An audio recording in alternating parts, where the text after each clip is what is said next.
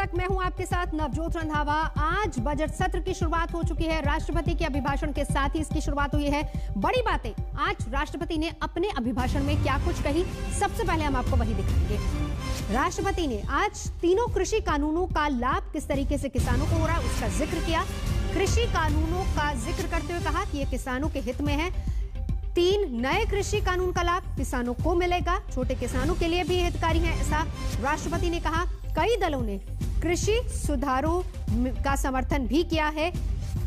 राष्ट्रपति ने इस बात का ज़िक्र किया कृषि कानून पर कोर्ट के फैसले का सम्मान करेगी। एमएसपी पर सरकार रिकॉर्ड मात्रा में खरीद रही है। आपको बताएँ कि कृषि कानून में यही एक सबसे बड़ा पेच है। एमएसपी को लेकर, जिसको लेकर किसान लगातार अड़े हुए हैं। तो ये सारी बातें आज राष्ट्रपति ने अपने अभिभाषण में कही हैं।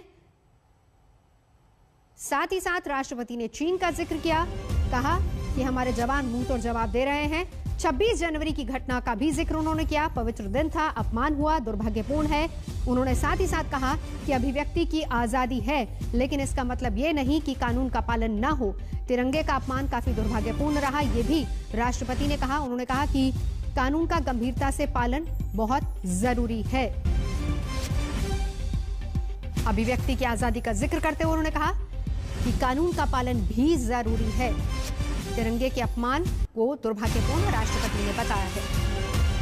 और तीसरी, बड़ी और अहम बात, अयोध्या में भव्य राम मंदिर का निर्माण शुरू हो गया है। इसका ज़िक्र भी राष्ट्रपति ने अपने अभिभाषण में किया है।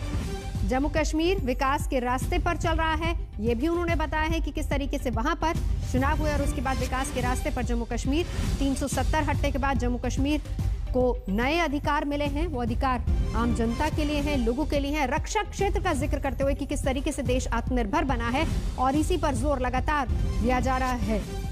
कोरोना काल में किस तरीके से हिंदुस्तान आत्मनिर्भर बना है, उसका ज़िक्र भी किया राष्ट्रपति।